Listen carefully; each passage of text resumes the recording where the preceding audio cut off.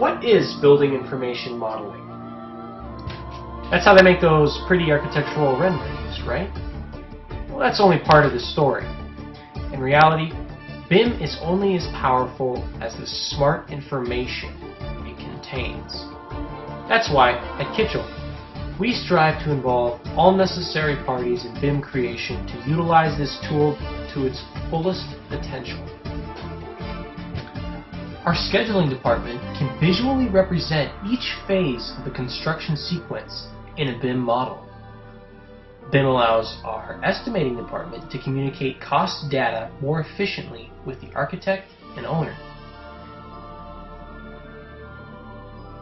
BIM diagrams effectively communicate site logistics to the owner and public.